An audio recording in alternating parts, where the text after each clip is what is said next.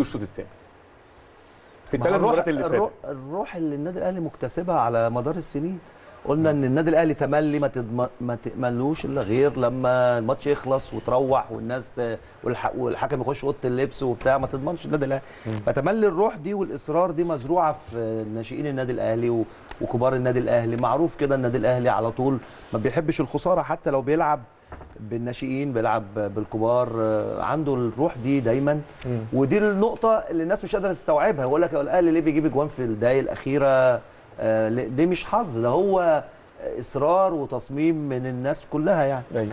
فالشوط الثاني بالنسبة لي أنا أحسن شوط اتلعب للنادي الأهلي في الثلاث ماتشات. يعني آه، لعبنا كويس ماتش. الإسماعيلي لعبنا كويس ماتش الجونه النهارده الشوط الأولاني كان بطيء.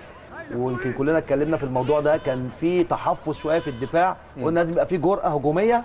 وده فعلا اللي حصل الشوط الثاني واللعيبة بذلت جهد كبير جدا وبالذات الجانب الشمال اللي كان فيه فيه أشرف وفخري وكان بيتضم لهم عمار عملوا ضغط كبير قوي الشوط الثاني على فرقة المقاولين العرب والجون جه من الناحية دي صحيح. وأكتر من هجمة. وكان لو في توفيق ضربة الجزاء كانت ممكن تيجي. آه والكرة الأخيرة هارد لك في إيده.